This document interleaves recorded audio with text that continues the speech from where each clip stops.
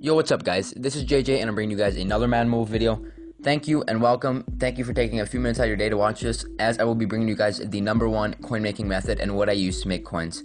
So right now I'm sitting at about 4.4 million coins. That is because I did have a 4 million, 4 million coin deal done a couple days ago and an 850k coin deal done a couple days ago as well. So I'm going to show you guys all the filters that I like to use and how I can make the most money uh, in the least, least amount of time. So let's hop right into the first filter here. We do got our gold trophies here, and it's golden elite trophy filter, as you guys see right here for 2,500 coins. I do like this filter because cards are or cards are dropping constantly on this filter. And actually, my brother has a little mini account. He plays on his iPad, and I tell him to use this filter, and he gets snipes all the time. It's a very effective way to make coins, as elite trophies sell for about 15,000 coins, and gold trophies go for about 5,000. And in this next filter, this is just strictly elite trophies. And as I said, elite trophies go for 15,000. Look for elite trophies for 8,000 coins, snipe them for underneath that or for 8,000 and you'll sell them for a good amount. As you guys see right here, I'll type in the 15,000 and you guys will see that these are going for, these are selling instantly right at 15,000 coins. So if you were sniping them for 8,000 or under, you're making back that 8,000 if not more depending on how much you sniped them for. So the next filter we are going to go to is Ultimate Legend Collectibles. We do got these, and these cards used to go for 40,000 coins, and now they're up to 350k. So if you can get one of these, just sit on the filter for a little bit, sit on this filter and get them for 300k or lower, you're gonna make guaranteed profit. As you see, they're selling for 350k. And in fact, yesterday I bought them for 315k a piece, when I, I looked at that, I was like, oh my gosh, like these are going for 40k a month ago or so when the Ultimate Legend packs out, and now they're going for like 10 times that amount. But if you can get these for really cheap, this is a solid way to make money actually because you'll be making a lot of profit back. It just takes a little bit of time. But right here, we got some gold players for 101 coins. And a lot of them do drop surprisingly. And you can choose whether or not you want to put elite trophies in or, or elite players in or not. I would kind of stay away from that as gold players do drop more and you have a better chance of getting these and you will make profit from that as well. And as you see here, almost all gold players sell for 2500 coins. They will bound they'll be bound to sell. So you're going to make that easy little profit right there. Very simple, very effective way of sniping. Now, the next one we got here is um, 92 overall players, and I like to go with every team except for the Titans, the Bengals, the Browns, and the Giants, I believe and I like to go with every position except for the tight end position and go for 50,000 coins.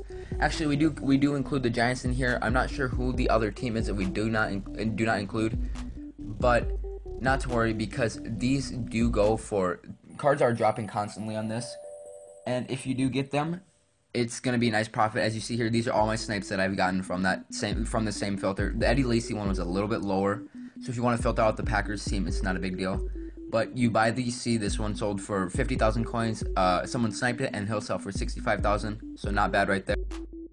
So once again a very effective way.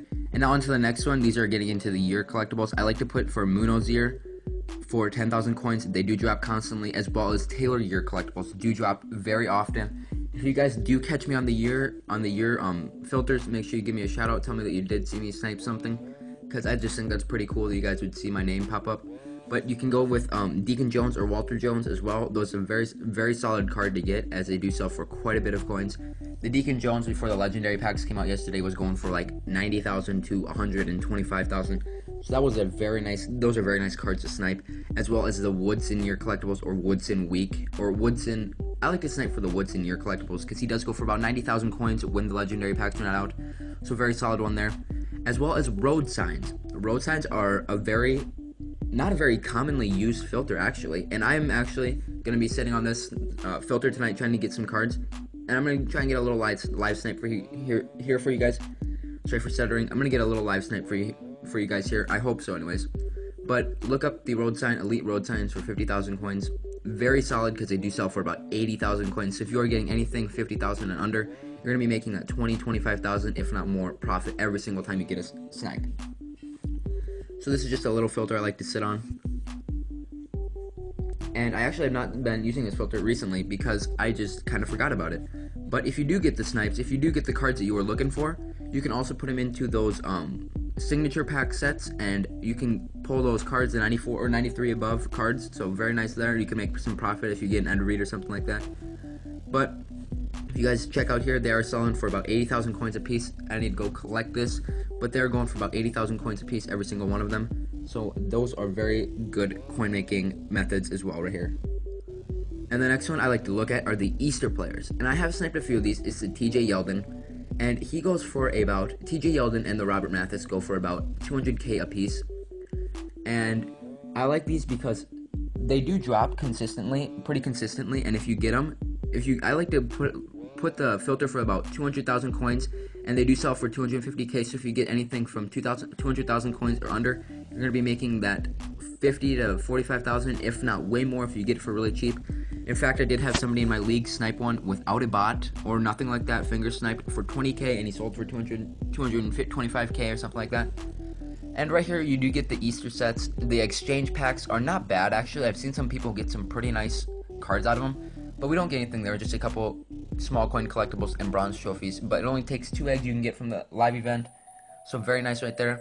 There's Easter Legend pack. If you do get the cards for really cheap, I don't know if I would recommend this because the TJ Yeldon and Robert Mathis alone go for 200k a piece. So I don't know if that's the smartest idea. But if you're looking for that legend pack, that'd be pretty nice. Guys, also check out my league. It's called JJ underscore Mad Mobile. Very nice league. We, do, we are full at the moment, but I will be accepting players soon. This is JJ signing out. Thank you for watching. Take it easy, everybody.